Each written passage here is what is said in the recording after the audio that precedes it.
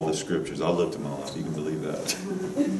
okay. Um, this is a really deep topic, and it's uh, it's very difficult to exhaust it. It's, it would take a very very long time, many many messages to exhaust this topic, the topic of Jesus Christ and who He is, and uh, the fact that He is God. And there's been a lot of debate over the past several centuries about that. Since Jesus died on the cross, there's been lots of controversy about Jesus and, and his deity. And, and I'm going to talk a little more detailed about that word, deity, and, and break it down just a little bit. Um, the title of the message is Who Do You Say That I Am? Who do you say that I am? It comes right out of Scripture. Matthew chapter 16. You with me, Manuel? Matthew chapter 16, verses 13 through 18. That's going to be my theme passage I'll probably only read it this one time through the whole message, but that is what it's going to all center around. When Jesus came into the coast of Caesarea Philippi, he asked his disciples, saying, Who do men say that I, the Son of Man, am? And they said, Some say that you are John the Baptist, some Elias, and others Jeremiah, or one of the prophets. And he said to them, But who do you say that I am? And I believe that that really is the most important question of all. It's not so much who everyone else says that Jesus is. It doesn't matter what, who your, uh, what your pastor says uh, about who Jesus is. It doesn't matter what your parents said, you know, how you were raised. You know, and that has a huge influence on what we believe about that question. You know, we all have roots. We all have a church back. Well, some of it, most of us have a church background, you know, a history with church. And, and so that has to be formed and it has to come from somewhere, from something. And we have to validate why do we believe what we believe about who Jesus is, or anything else for that matter in the Bible. Okay? Now, back in the text, verse 15, he said to them, But who do you say that I am? And verse 16, And Simon Peter answered and said, You are the Christ, the Son of the living God. An amazing answer. I mean, come on, could there really be a more perfect, more on target, I mean, directed, streamlined arrow shooting through the air, strike the target? That was the answer. And Jesus answered and said to him, Blessed are you, Simon Barjona, for flesh and blood has not revealed it to you, but my Father which is in heaven. And I say also to you that you are Peter and on this rock I will build my church, and the gates of hell will not prevail against it. Now, verse 18 is, is also the source of a big debate and controversy between uh, denominations. And I'm not going to get deep into that, but I do want to clarify verse 18. The rock that Jesus was speaking of, the rock that Jesus is building his church still today on, is the revelation that Peter had that, that moment in time the revelation that Jesus, you are the Christ, meaning you are the anointed one. You are the Messiah. You are the one that all the prophets and all the men of God beforehand prophesied and spoke of. Jesus, that's who you are. And he went on just a little bit further and he said, Your son, you are the son of the living God. And so some uh, sects, uh, false religions have gone as far as to say that all that it says there is that he's the Son of God, but it doesn't say that he is God. We're going to unpack this a little bit, and we're going to get a little bit deeper, and I'm going to break down some of that. We're going to talk about him being the Son of God, okay? This is very important. It really is important to our faith. What we believe about Jesus, who we believe that he truly is. One thing that I'm pretty sure that we all do agree on here tonight, and that everyone is very clear and understood about is that Jesus is our source. He is the source of all power. He's the source of all authority. He's the source of salvation. And it comes through the means of his cross. Not the two pieces of wood, as Matt is always, you know, he says it a lot. Not just the two pieces of wood, not just the whip that went across his back when he was scourged and he was tied to the whipping post, but it was the whole an all inclusive event of what happened from the moment that he began to become crucified and tormented and take the pain and take the sin and take all of our garbage he took upon himself. That right there is what I'm talking about. Who do you say that I am? That's what Jesus is asking us. He's asking us today. Who do you say that I am? And I'm sure most of you have already answered that question. But I want to go a little bit further. You see, why do you believe? Why do you believe what you believe about who Jesus is? What's the reason why you believe that? What was it that convinced you? Or who was it that convinced you? And then how can you prove it? You know, I used to think that that really wasn't that important early in my adulthood of my Christian faith.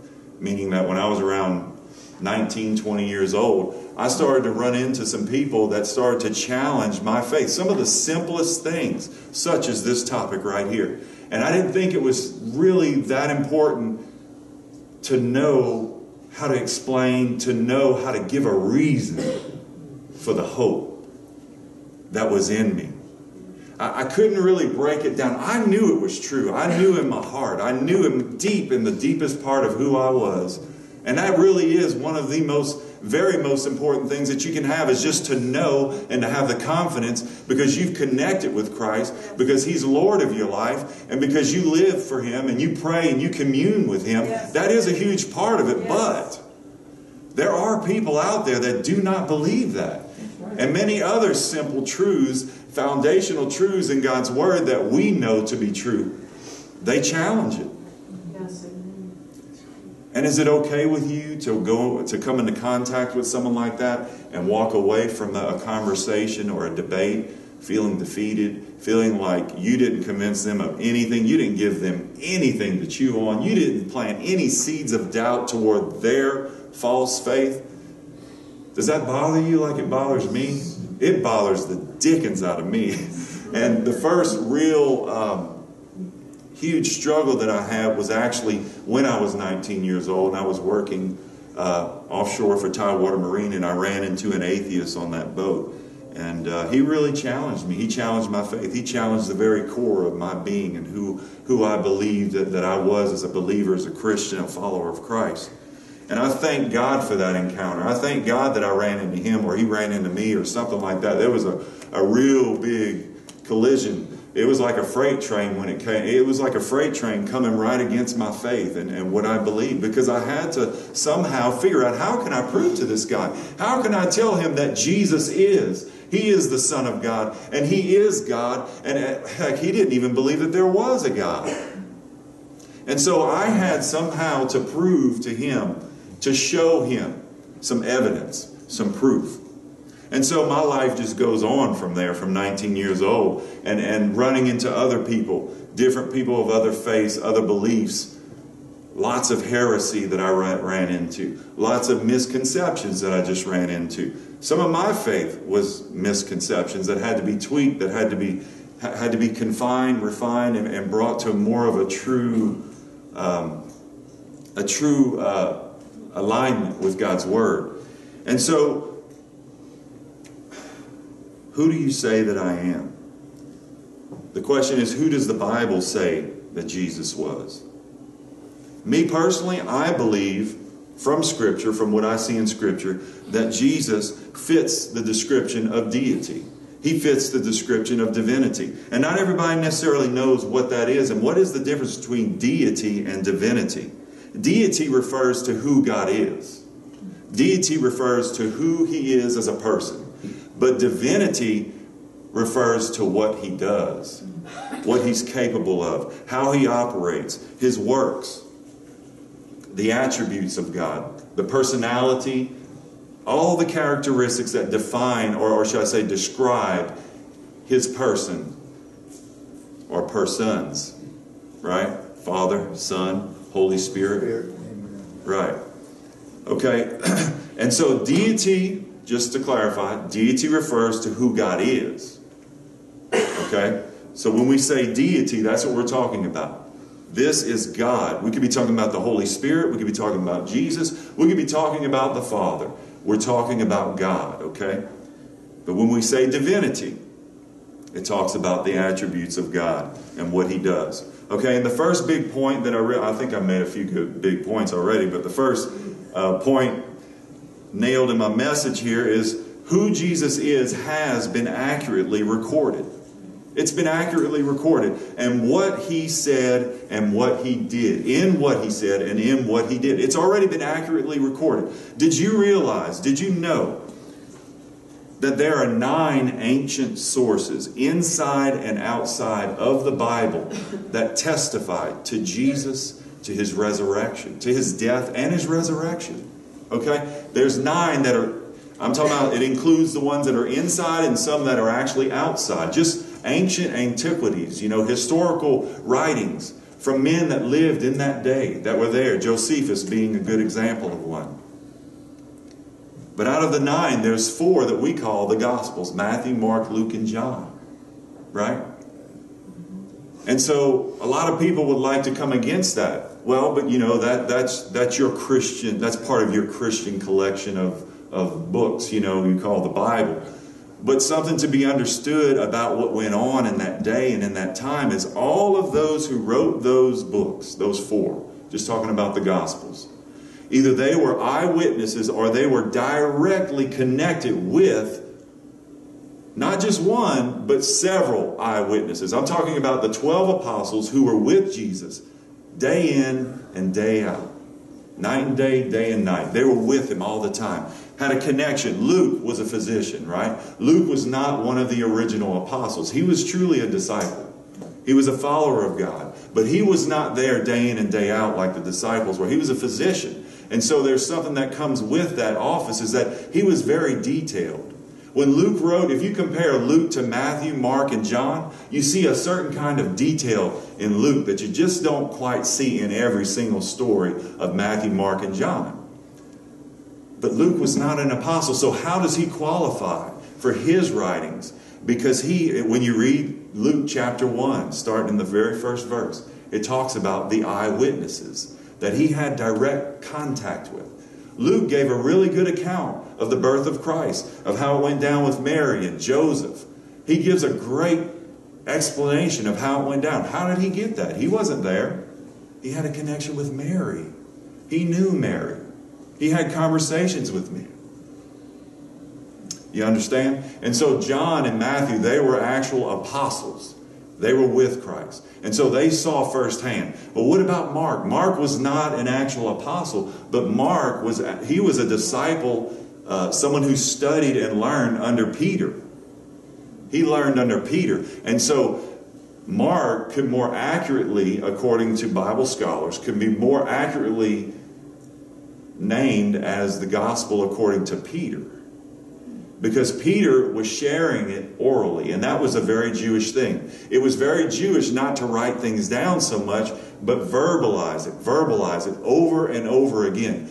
Be very repetitious, over and over, until it's memorized. And when it's memorized, got it.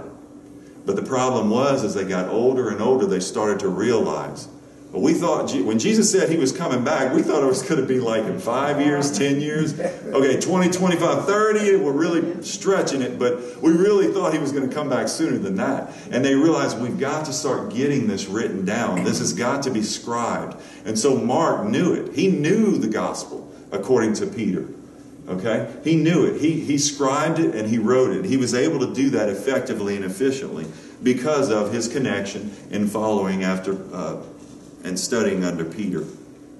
Okay? And so Colossians 2 8. Can you go to Colossians 2 8 for me, please? Who Jesus is has been accurately recorded. Colossians 2 8 through 10. Beware lest any man spoil you through philosophy and vain deceit, after the tradition of men, after the rudiments of the world, and not after Christ. For in him dwells all the fullness of the Godhead bodily and you are complete in him, which is the head of all principality and power. That's powerful. Yes. That is powerful. Did you really catch that? It says, For in him dwells all the fullness of the Godhead. Dwells means, when he says dwell, it means to house permanently. This is not something that Jesus just got later on in life. No, he permanently always was. Before he was even born on earth, he always was. He always embodied the fullness of the Godhead. Okay? And Godhead literally means, if you look it up in the Greek, it means the state of being God. I mean, can it get more clear than that? the state of being God. That's what Godhead means, okay? Sometimes we run into some of these words, especially in the King James, and it can really, you know, cause a little stumble and a trip up. And he says, and you are complete in him. It simply means when he says complete, he satisfies, Jesus satisfies all in us as believers that is lacking. Everything that is missing, he satisfies it. He meets it. And so, getting back to where he was talking about, don't let any man spoil you through the vain philosophy, through philosophy and vain deceit, and after, after the tradition of men. It's not tradition in general that he's coming against, he's coming against those traditions. Have you realized that we have traditions in our church services? What do we always do first? The very first thing that we do when we come to church? Pray. We pray. We have some announcements first, and then we'll pray. Prayer is the, the, spiritually, the you know, prayer is actually the first thing that we do, and then we always go right on in from there. We'll go into worship or praise and worship, singing. It's tradition. It's what we do. It's something you can count on. It's cookie cutter predictable. We know we're going to do that. We're going to hear the word of God. We're going to hear the preaching of the word. It's tradition, but it's good tradition. It's not just the tradition of men. It, it's a it's a good and a holy tradition that God has ordained for us. It's, and God moves through. Amen? Amen. So the Bible is our greatest source. Although there are, are documents and there's antiquities, there's historical documents outside of the Bible that are available and accessible to us to, to show and to prove and, and to let us see that Jesus did live, that he was on earth, and, and that he was more than just a man, that he is God. We have the Gospels. And the thing is, with Matthew, Mark, Luke, and John, all four of them were surrounded by a whole community. There was a whole community surrounding them that could help to hold them accountable. Matthew, Mark, Luke, and John, they were not able to just spew out just any old thing, okay? Because a lot of those miracles that Jesus performed, a lot of those teachings that Jesus administered, there were hundreds of other people that were around to witness that. You understand? So when people come against, you know, our Bible, come against the four Gospels, the accounts of Jesus, that's really not a strong argument. It's really not. If you understand anything about the culture of the Jews, if you understand anything about how things were back then, even to some degree how it is today, that's not something that they would ever get away with. There would have been a major uproar among the Jews, among the ones that were believers, the ones who really believed in Jesus. If they were distorting anything, if they were not uh, portraying anything accurately, those who were there would have come forward and said, No, this is not right. There would, there would have been riots in the streets about the, the writings of the Gospels. But instead, there were riots about other things going on back then. You understand? Because Jews are very passionate about documentation, they're very passionate about accuracy. And that's just the way God designed and intended it for them. Was that when they would do, uh, when they would share information and knowledge with each other, it was oral, it was spoken, and it was memorized. No, um, no rabbi was allowed to speak or to preach or to teach until he had memorized the passage that he was actually going to speak on. I can tell you right now that would disqualify me right away. Right away. I memorized a few verses here and there. How many of you know John 3.16? okay, so the four Gospels and their witnesses to Christ. The apostles and the eyewitness accounts. It's an amazing and powerful witness. It's an amazing witness to who Jesus is, to what we have, to who we have, to put it a little bit better. Okay? But with all that, there was there were some things that were really coming against the early church after Jesus had died. He rose from the dead. He ascends up into heaven. Uh, the apostles start to pass away. Actually, all the apostles at this point in history, they're they're dead and gone. And now you have some of the followers, and, and you know you getting into the third, the fourth century. And so now there's some major heresy that's starting to arise. Major heresy Sometimes it starts very subtle and it's something very small and it kind of festers and grows like leaven, you know, and it becomes something more significant. And there was a particular guy who is guilty, who was and is guilty of this very thing. His name is Arius. And Arius was a pastor of one of the churches in Alexandria in Egypt. Okay, so he was over that local gathering. But there was a bishop that was over that whole area, that whole region in Egypt or in Alexandria. And his name was Alexander. And, Al- and Alexander recognized that there were some things that Arius was teaching and that he was spreading that was not right. It was not biblical, it was not scriptural. And just to let you know exactly what, he was challenging the church on John 1:14. He was saying that Jesus was not eternally God and that he was created into his existence. He tried to make Jesus out as if he was only he was nothing more or less than just a divine hero rather than actually being God. And he was he was a pastor of a church and he's teaching this. And you have to understand where a lot of these new converts that were coming into the church, they were a lot of them were coming from Gnosticism, and not, it, it really what went hand in hand with a Gnostic's beliefs, and so it makes you question, you know, was there truly a conversion there, you know, and so. So he challenges them on John chapter 1, verse 14. Let's start in John chapter 1, verse 1 and then we'll go from there. We'll probably skip a few and go down to where. We'll, we'll read uh, John chapter 1, verses 1 through 3. In the beginning was the Word, and the Word was with God, and the Word was God. Is everybody there yet? In the beginning was the Word, the Word was with God, and the Word was God. Are you catching that? Yes. In the beginning was the Word, and the Word was with God, and the Word was God. The same was in the beginning with God. All things were made by him, and without him was not anything made that was made. Okay? Now, there's a lot of good stuff here, but um, for the sake of time, because I've already been rebuked before I got up here. Let's go to verse 14. There's good reason for it. I understand. I, Verse 14, and the Word was made flesh and dwelt among us, and we beheld his glory, the glory as of the only begotten of the Father, full of grace and truth. Now, we interpret and we perceive and we see and we know that the Word is Jesus. Right? The Word is Jesus. The Word was made flesh and He dwelt among us. This is not just words on a piece of paper.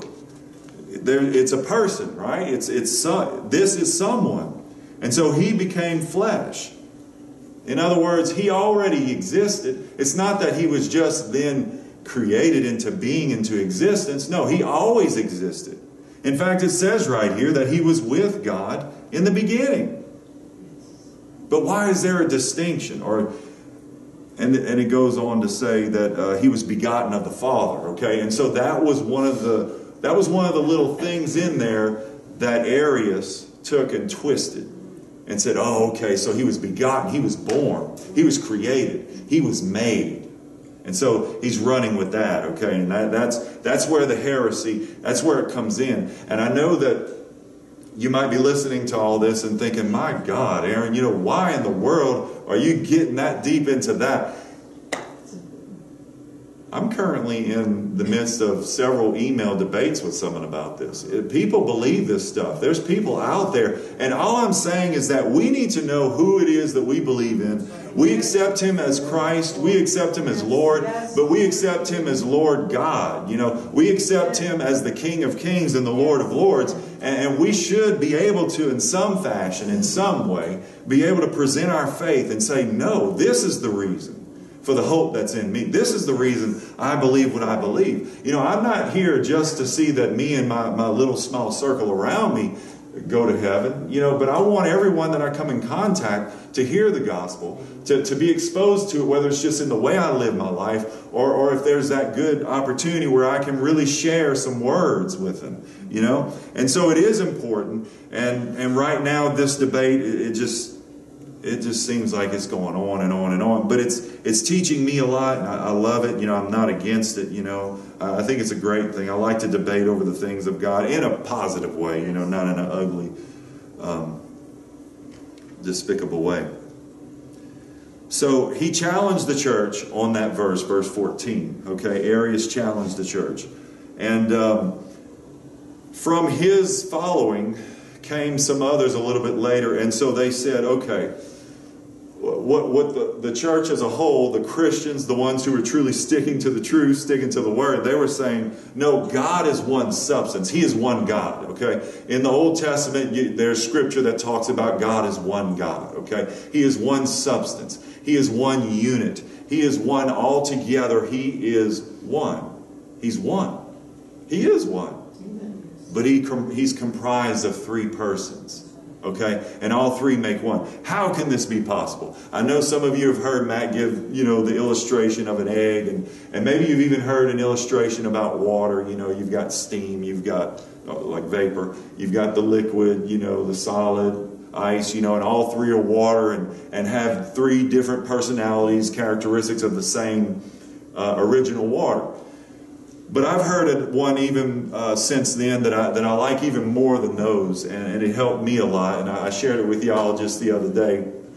Um, one of the best examples and illustrations is the sun, S U N, the sun, the sun, the star in the sky. When you look at the sun, what do you see? You see brightness. You see something that will absolutely blind you. If you look at it long enough, you'll lose your sight permanently. You can be blinded, right? And what we see is, is a good example when you look and you see the brightness. That's a good example of Jesus and, and the role that he plays in the Trinity. He's the one that we see. He's the one who became clothed in flesh, came down to earth, and revealed himself for everyone to see and to know and to understand not just who Jesus is, but who God is, who the Father is. What, he, what is he all about? And what about this mysterious, seemingly mystical Holy Spirit? What's, what's up with that, you know? And so each one is a person of God. And so we can also see the, the, or not see, but we know the heat, the warmth that comes from the sun. It's a good representation of the Holy Spirit. It's what we feel.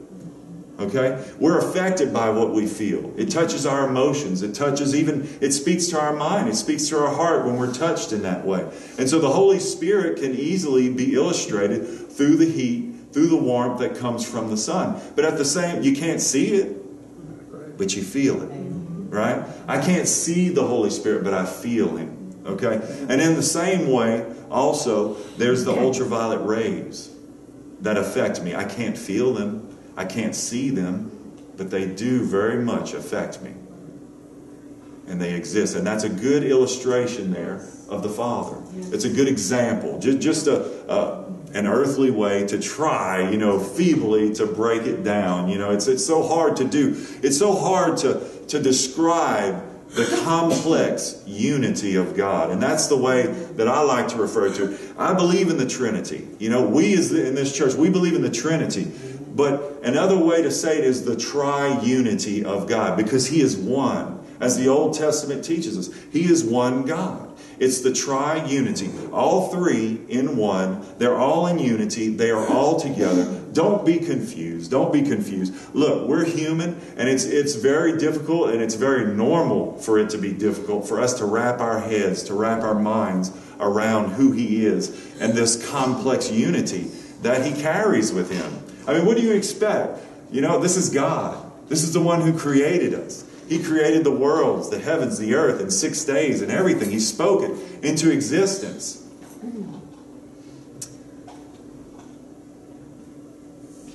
So, what they were saying in the church in Egypt and in that area in Alexandria was that one substance. The best way that we can sum it up God is one substance. And the way that that word was spelled was very similar to a twisted way that they tried to come back at him. And they said, No, we're going to say the guys that, that came up, down from Arius, you know, some followers who started their own little gathering, they put a little twist on it and said, no, we're not going to say that he's one substance. We're going to say he's similar. Jesus is similar. You see the deceitfulness of that? You see how, how leaven, you know, how that leaven just kind of got in there? And then they ran with it. They ran with it. It's good to number the pages of your notes when you preach, y'all. or, see, I don't want to just throw this down. I might, wait, I got to refer back to something. I don't want to lose it. No, anyway, I'm sorry. Uh, let me stay on. Don't sound like that now. okay. The struggle with this Arius guy, y'all, it was real. It was real. It was him and it was it was a few others like him that was the main reason that the emperor of Rome, Constantine, I know you've all heard of Constantine, uh, not just Bible scholars, but historians consider Constantine to be the first quote unquote self proclaimed Christian Roman emperor. Now, whether he was truly Christian or not, I'm not trying to play judge or not, but I can tell you one thing God used him. God used him in, in, a, in a variety of different ways, okay? And I'm sure the devil used him too. But God used him, okay? And I'm going to show you how God used him. How can this be? How can this be possible that God used Constantine? Well, there was a lot of division in the church. I mean, you saw what was going on with Arius and Alexander, you know, and there was a big, huge conflict. It was causing riots in the streets. There was a big, huge struggle. And so, because of that, Constantine, being the emperor in Rome, he said, Look, I don't know how we're going to do this, but somehow we have got to iron this out. We have got to get this settled. And so he called as many local pastors, regional bishops, or whatever they were calling themselves, brought them together to a council, and they met in a place called Nicaea. And so I'm sure some of you have heard of the Nicene Creed. And so in, in that gathering, it, it, wasn't just a one day thing, y'all. It wasn't just one hour. I mean, this took days and days and days. I mean, it took a very long time, and it just seemed, Constantine was like, man, I, I don't know if we're getting anywhere with this, but we have got to nail this out. And he said something I thought was so good. He said, division in the church is worse than war. Amen. Division in the church is worse than the shedding of blood between one nation and another nation or a civil war as we've seen here in our country. And I was like, wow, man, that's really good. That's really good. Yeah. And so he put such an emphasis, again, you know, whether he was truly genuinely converted to Christ or what was he converted to, I don't know. but something on the inside of Constantine was like, we have got to get this nailed down. We have got to get some direction. We've got to get some order in the church so as to what we believe. Because if we can't agree on what we believe, there's no way we can move forward with the church. And so in this Nicaea gathering, this group gathering, they formed a creed together. Now in the in the Bible we could probably find many, many scriptures that could form much better creed, you know. But but this is just to sum it up, put it in layman's terms. This is what we believe, and the reason that it's going to be worded the way you're going to. I'm not reading the whole creed. I'm just reading a part of it to make my point. Okay. The reason they worded it in such a way was to say that we need to all agree and know that Jesus is God. And so this is the part about Jesus that they put in the creed. In the creed. It says that we believe in one Lord Jesus Christ, the only begotten Son of God, begotten of the Father before all worlds, God of God, God of God, light of light, capital L of capital L, light. Very God of very God. I mean, come on, if they're not reiterating what they just got finished reiterating, I don't know what they're doing. Very God of very God, begotten, not made. They made that very clear. He was not created. He always was. He's eternal. Jesus never was created. He was clothed in flesh. Just like he puts you, you put on a jacket and take it off. He put it on and then he took it off. Okay? That's exactly what happened. And then it goes on to say, after he says, begotten, not made, being of one substance with the Father, by whom all things were made. So there's an obvious problem with Arius and his belief. Let's look at Isaiah 42 8. There's some things that we're going to quickly, Lord help me, we're going to quickly look at. Isaiah 42 8. It says, I am the Lord, that is my name, and my glory will I not give to another, neither my praise to graven images. I'm just trying to make a point. He says he's not giving his glory to anyone else. Okay, you got that? John 2:11. John 2:11 talks about manifesting forth his glory. Is that it? Yes. This beginning of miracles did Jesus in Cana of Galilee and manifested forth whose glory? His glory. And his disciples believed on it. We got a problem already. Okay, let's go to John 17 24 just in case that wasn't evident enough for anybody. John 17 24 talks about how the Father gives Jesus glory. Okay? Father, I will that they also, whom thou hast given me, be with me where I am, that they may behold my glory, which thou hast given me. He didn't give it to himself, which thou hast given me, for thou loved me before the foundation of the world. Okay, if that wasn't enough. Hebrews 2 9 talks about Jesus being crowned with glory. Okay, I'm going to move through this quickly. 2 Peter 1 16 through 17. 2 Peter 1. Okay. For we have not followed cunningly devised fables when we made known unto you the power and coming of our Lord Jesus Christ, but were eyewitnesses of his majesty. Next verse. For he received from God the Father honor and glory when there came such a voice to him from the excellent glory This is my beloved Son, in whom I am well pleased. Who gave it to him? Who did he receive it from? He received it directly from the Father. John 13, 31 through 32 talks about the Father is glorified in Christ. I love this, man. I've seen this scripture so many times, but I guess not, not so much in this context as I am right now. It says that the Father is glorified in Christ and Christ is glorified in the Father. Check that out. That's really interesting. That really gives a strong, strong support and a, makes a strong case for the Trinity. Makes a strong case for Jesus being God and the Father being God and the two being one because one gives glory to the other.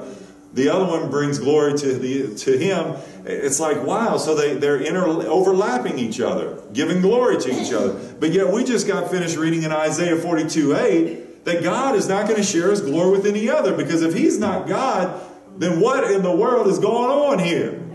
We've got a huge problem. Okay. Yeah. Modalism. Have you ever heard of modalism? You have? Yeah. Okay. Modalism, yes. Belief that God is one single person who, throughout biblical history, revealed himself in three modes or forms. Okay? So basically, what the, the thought behind that is God is just one person. Okay? And so now we're getting over to, to what we were talking about on Sunday after church. That's where it all comes from, there. Okay? There, uh, Jehovah's Witnesses uh, and uh, Jehovah's Witnesses and Muslims, not Muslims, Mormons, gosh. They, they practice a form, a mild form of modalism, okay? Um, they don't believe that the Holy Spirit is, is an actual person. They believe that he's a force or an energy, just, you know, uh, however they word that, but it's something to that effect. And then uh, the United Pentecostal Church, the United Apostolic. I, am not trying to call them out for the sake of slinging mud. That's not at all what this is about, okay? So please do understand. But we need to be very clear about doctrine. We need to be very clear about what we believe and, and, and who we're talking to when we're talking to them. It needs to be very clear, okay? And so uh, oneness, and the, they, they have formed some of their beliefs from this idea of modalism. They believe that Jesus is the Father. They believe that the Father is Jesus, Jesus is the Father, that they're one. No, not meaning one in the Trinity. They don't believe in the Trinity. They believe there's just one person, and that the two there are one. And the same with the Holy Spirit. They believe the Holy Spirit is Jesus and the Father, and the Father is Jesus and the Holy Spirit, and, and so on, all the way around that. That's what they believe. So the questions that need to be asked, if you ask the right questions, it should be able to trip trip up that whole idea. Is Jesus his own father? If Jesus and the Father's will were identical, then why did Jesus express desire to escape the cups, asking that the cup would pass from him, but then resigns himself to not his own will, but the will of the Father? So who is the Father? That's just confusing. Was Jesus praying to himself when he was praying to the Father? Was Jesus saying, Not my will, but my will be done? When supposedly there is only one will involved, right? If you've got if they're both one and the same. So, my second big point in this message is that God the Father and God the Son, they reveal themselves in the Godhead. They have revealed themselves. In Scripture, we can see where they reveal themselves in the Godhead. They reveal themselves distinctly, separately, as God. Jesus is God. The Father is God. And, and, and, my focus isn't on the Holy Spirit, but, but I thank the Holy Spirit for being here and, and, you know, helping bring all this together here. But I just, you know, the main focus right now that we're, we're talking about is Jesus. But I do want to make it clear the Holy Spirit is God. So the triunity of God, the complex unity of God. Let's look at Matthew 3.13. Matthew 3.13. Jesus' baptism, okay? And there's parallel, there's parallel passages, Mark 1 and Luke 3, that show uh, talk about exactly the same thing, okay, but just in a slightly different way. Are you there? Matthew 3, 13. I need to start going there on my Bible so it gives people time to turn in theirs. All right, Matthew 3:13. Then come Jesus from Galilee to Jordan unto John to be baptized of him. But John forbid him, forbade him, saying, I have need to be baptized of thee, and comest thou to me? And Jesus answered, said to him, Suffer it to be so now, for thus it becomes us to fulfill all righteousness. Then he suffered him. And Jesus, when he was baptized, went up straightway out of the water, and lo, the heavens were opened unto him. And he saw the Spirit of God descending like a dove and lighting upon him. And lo, a voice from heaven saying, This is my beloved Son in whom I am well pleased. And so here we can see the, the complete triunity of God in that one simple picture. We see the Holy Spirit taking on the form of a dove. We hear we, we see in Scripture where, where the Father was heard speaking from heaven, and then there's Jesus visibly for all the eyes that were there to see go down into water to be baptized and come up. And when he came up, the Holy Spirit did his thing. It's an amazing picture, and it's really cool because one thing is for sure Jesus is not a ventriloquist. Amen? Amen. Right? That's right. So if there was any question in your mind, if there was any confusion at any point in your life, it's okay. Look, and I, I know I said that kind of jokingly, but honestly, I, I don't want to sound, you know, um, prideful or anything like that. Because some people, you know, they are struggling with something like that. And some people have in the past. And, and, and look, it's nothing against that because it takes time, y'all. It, it takes time to, to see certain things in God's Word. There's still a lot of things, you know, that I know that we all probably need to, to come to understand and to see, okay? And so, Matthew 17, let's go on. Matthew 17, 1 through 7.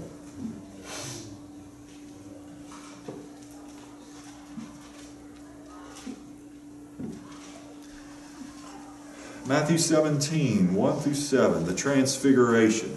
You remember that story?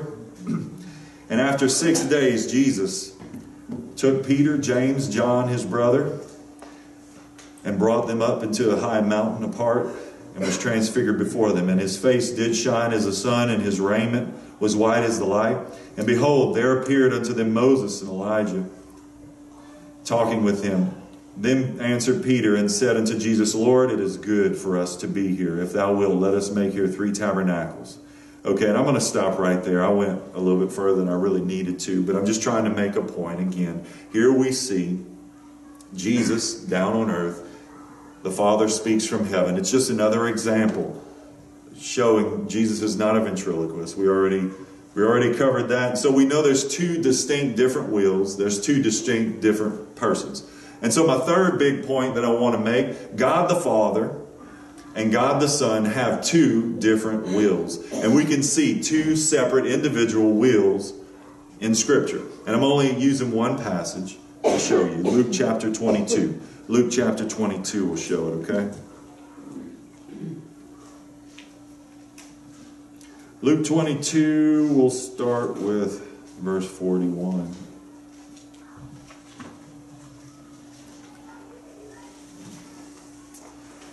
And he was withdrawn from them about a stone's cast and kneeled down and prayed, saying, Father, if thou be willing, remove this cup from me. Nevertheless, not my will, but your will, thine will be done. Folks, it's real simple. It's real simple about the will thing. There's two different wills represented here. And I, I grazed over it earlier, you know, but, you know, Jesus, in his humanity, Jesus really was having some second thoughts about going to the cross. That might be a hard thing for some people to accept, but it's clear there. Not in his divinity, not in his deity, in his humanity, because he knew what his flesh was about to have to endure. He knew exactly what it was going to entail. And there was a struggle there, y'all. And so that's why he can bear with our infirmities. He can bear with our weaknesses because he has been through some really serious, deep struggle where he was like, okay, Father, if there's any way, if there's just any other way.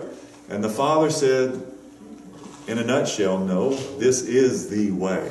You are going to be that way. And it has to happen through this venue, down this road. And so it shows two distinct wills. And so I want to also make the point that Jesus is Son of God. What, what does what does Son of God mean? Because that's been a source of contention for me and debate with people before. And uh, John 5, 17 through 23 makes it very clear what Son of God means there, okay? Makes it very clear. John 5. John 5, Mr. Manuel, 17 has Manuel been doing good tonight? Yeah. He always does good. Behind the sound booth, he always does good. Now, outside the sound booth. John 5, 17, we'll just read a few of these verses to 23. Okay, now I'm, I'm, I'm cutting out a little part of a story. This is what happens. Okay, um, Jesus heals a man, and the man couldn't walk. He told him to rise up and walk and um, he tells him your sins are forgiven you okay? And so this is where we're at. After that happens verse 17 uh, the man goes uh, before verse 17 the man goes and he tells the jews what happened tells the story. You know he healed me he told me i was forgiven and they're like what? Are you kidding me? And so verse 17 they're accusing jesus you know they're um, coming against him and they're about ready to to throw down with him and so Jesus answers them and says, My Father works hitherto, and I work. Therefore the Jews sought the more to kill him, because he not only had broken the Sabbath, but said also that God was his Father, making himself equal with God. Then answered Jesus and said unto them, Verily, verily, I say unto you, the Son can do nothing of himself but what he sees the Father do. For what things soever he does, these also does the Son likewise. For the Father loves the Son and shows him all things that himself does. And he will show him greater works than these, that you may marvel. For as the Father raises up the dead and quickens them, even so the Son quickens whom he will. For the Father judges no man, but has committed all judgment to the Son, that all men should honor the Son even as they honor the Father. He that honors not the Son honors not the Father which has sent him. Now, Jesus went off the topic, I think, a little bit, but he's Jesus, right? Amen. And he was speaking as the Father directed him. So God is going to say what he feels is necessary. I just want to make it very clear that he was being accused, right, of making himself equal to God. Did you see that? He was being accused. Look in verse 18. Look at the end of verse 18. It said not only did he break the Sabbath, but also he was saying that God was his father, making himself equal to God. Did he deny it? He didn't deny it. And I'm I'll have you know this is not the only place that this accusation was made against him. And he never denies it. John, the writer, he never says anything about it. He doesn't clarify just to make sure for the sake of doctrine, you know, want to make sure everyone understands, you know, he's not got, you know, he's not, you know, he's being accused of this, but that's not really true. No, John's not going to do that. He is God. He is God. Jesus is not going to try to put up some kind of a defense again, you know, no, he knows who he is. He is God. And he's not denying it. In no way, no fashion is he. But I want to make the, the other point is that when it says Son of God, capital S O N, Son of God, he is saying that he is equal. He is equal with God. He is Son in relationship to the Father. Okay? He is Son only in the sense of that relationship. The Father has the authority, and He gives the instructions, and the Son executes. He does what the Father wills Him to do. Amen? Amen. So, why didn't Jesus just set the record straight? Why didn't John the author do it here? We already answered that. Jesus, the judge, who shares the Father's honor, shares his glory, like we talked about earlier, he stood his ground. He stood his ground. Colossians chapter 1, verses 13 through 15. We're wrapping up here. Are y'all surprised?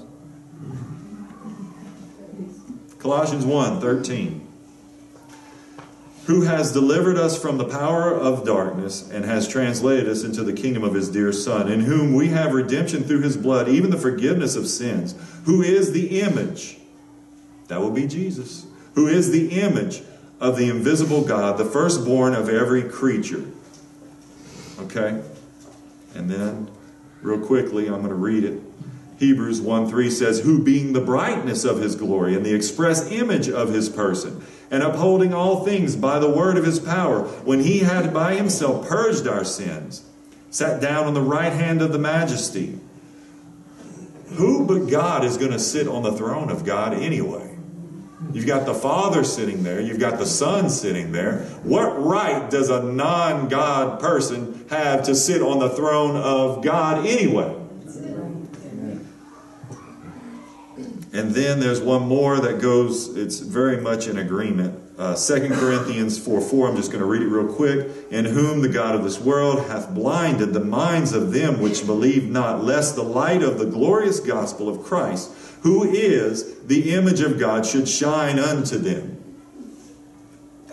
Y'all, He's the image. He is the image of God. If you want to know one of the purposes, He is the image. He's the imprint, the exact stamp. I mean, the exact representation. He is the figure of God. He's what you see when you look at Him. When you look at the sun, the S U N in the sky, and you see that bright thing right there that's killing your eyes, that is the image of the sun, the S U N. But the big capital S O N is the image of God. He is the expression, He is the imprint, He is who you can see, He is who you can reach out to. And by way of the Holy Spirit, He reaches back down and touches you, and He meets your need. That's who Jesus is, that's who we serve. And that's what's awesome about the Trinity and the triunity and the complex unity of God. Okay? Now, in Exodus 33 20, it talks about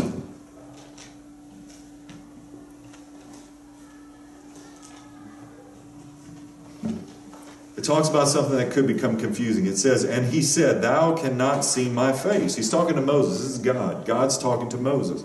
For there shall no man see me and live. Okay? There shall no man see me and live. All right? John 1:18.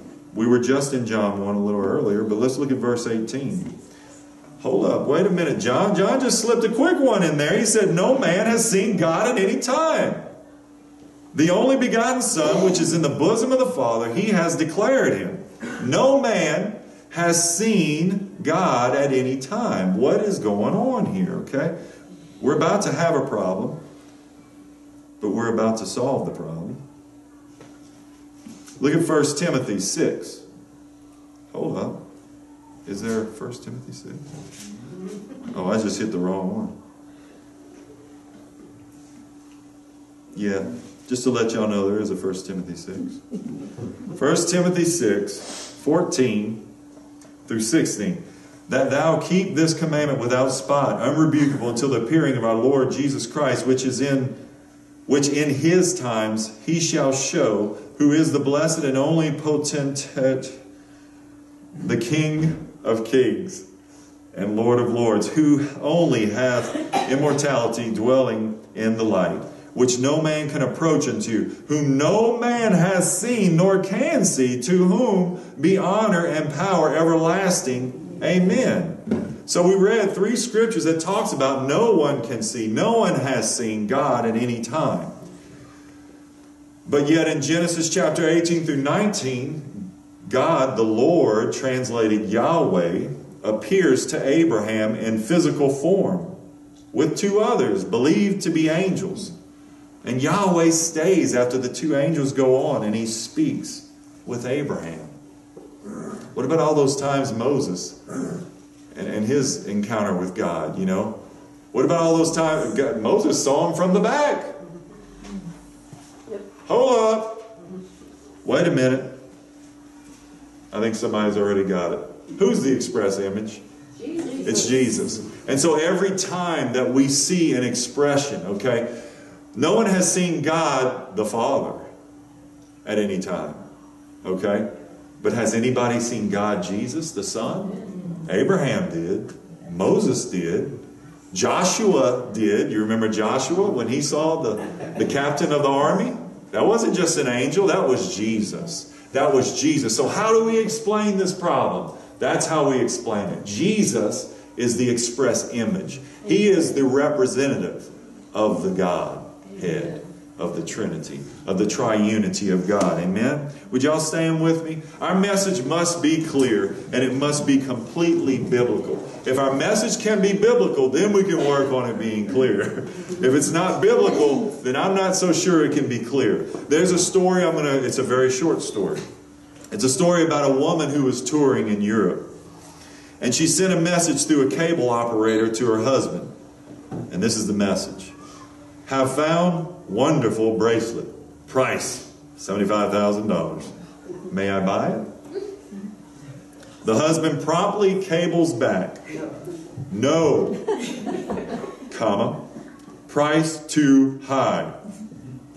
The cable operator, in transmitting the message, missed the signal for the comma.